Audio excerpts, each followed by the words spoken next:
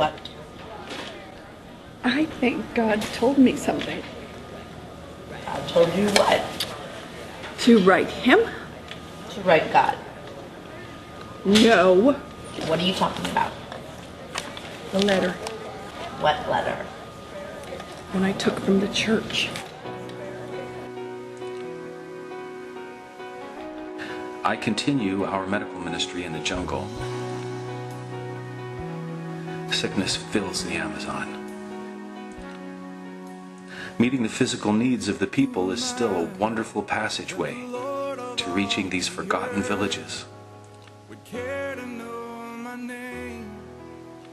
The trafficking of children in Ecuador is big business, but we're looking after them. Yesterday, the refuge got new children. They came here under the cover of night. They're so young, so physically ill.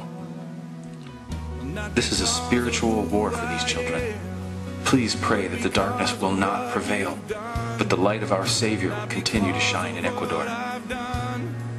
For this, I remain the luckiest man alive as your servant in Christ, Dr. Wes